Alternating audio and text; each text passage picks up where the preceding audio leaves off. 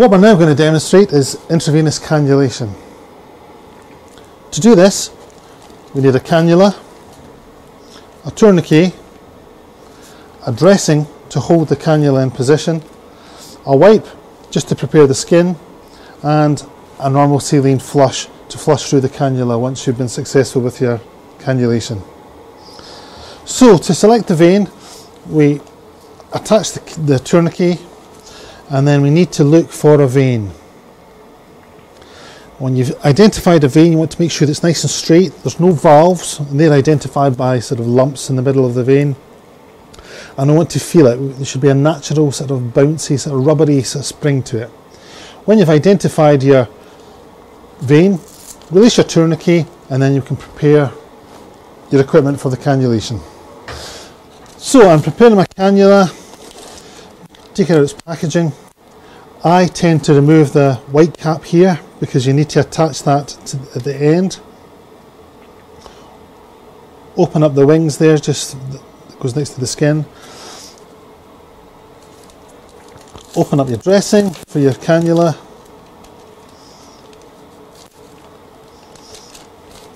And we have everything else prepared. Next, I'm going to reattach the tourniquet on. Go back to the vein that I identified. Just feel again, make sure there's no valves again.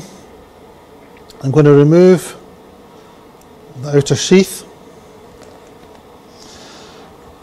And then just at a slight angle, just under 40 degrees, using my fingers to keep the skin slightly taut, not too taut that it's going to decompress the, the vein, but taut that it doesn't move.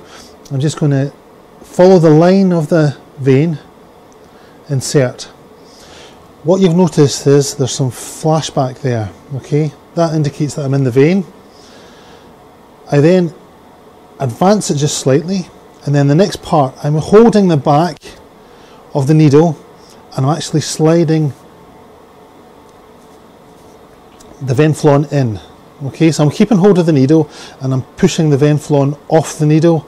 And then what I need to do is I need to release the tourniquet, press on the vein above where I've injected, and then I need to insert the white cap over there. That's the cannula in position. I'll attach the, the slight pad underneath the wings there. and then I attach the dressing to the venflon as such. That's it in position.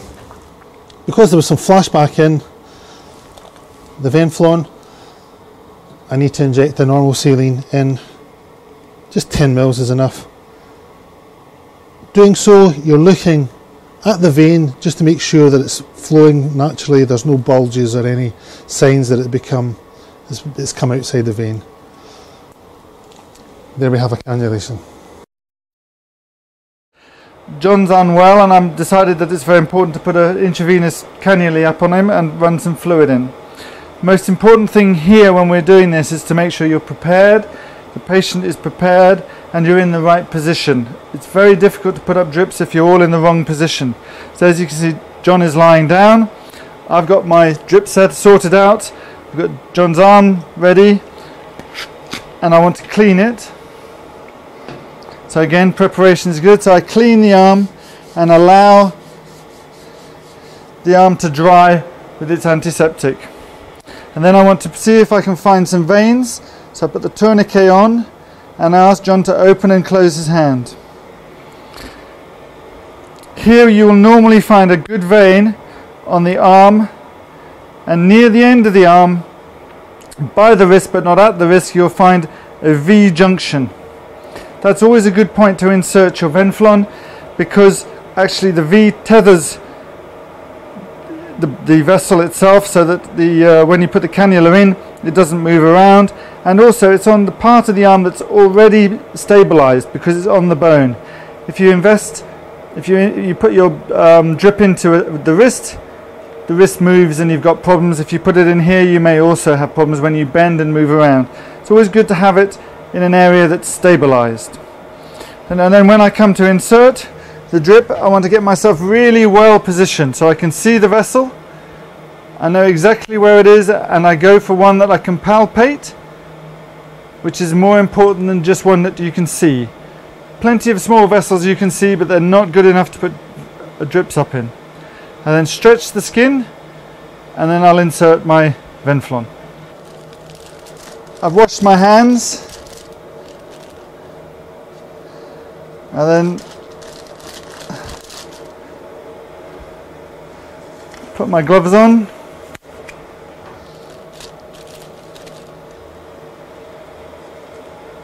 Using the same technique as you've just seen.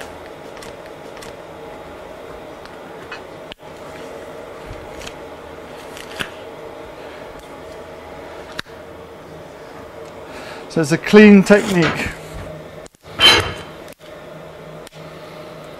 Okay, again, being prepared is very important. Make sure the vessel is up. Perfect. Always check that your Venflon moves well. Okay. And when you're here, you want to get yourself level. Make sure there's no one getting in the way. There's the V. I strengthen it, I insert, go in, flat, in, and then you see a little flashback here. Can you see the little flashback? That shows that the, the cannula is actually in the vessel and you get a little bit of blood there. When that's in, you then withdraw the needle, leaving the cannula in, and you'll see a flashback there. Then you insert the cannula the rest of the way. At that stage you want to release the tourniquet so there is not back pressure on the uh, venflon and causing a lot of blood leakage. You then get your fixation dressing out and the aim of this is to make sure that your venflon is secured safely and appropriately on the arm in the right direction as the vessel.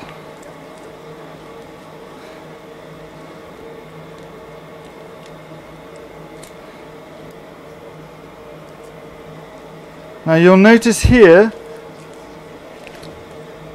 there's clear tape in a sense dressing above where the venflon goes in. This is very important because the clarity of the dressing here allows you to see if there's any redness or infection developing over where the venflon has gone in. This allows you, particularly in a saturation environment where infections might be likely to be common, to make sure that as long as this is free, non-painful and non-swollen and obviously red and angry, that the venflon can stay in if it's flowing well. If however you get an area here that's red, angry and painful, then you may say, I need to resite my venflon because I'm developing an infection here. You then have this area here and basically you take the needle out and you will connect your intravenous fluid administration giving set to this end and we'll discuss that in a moment.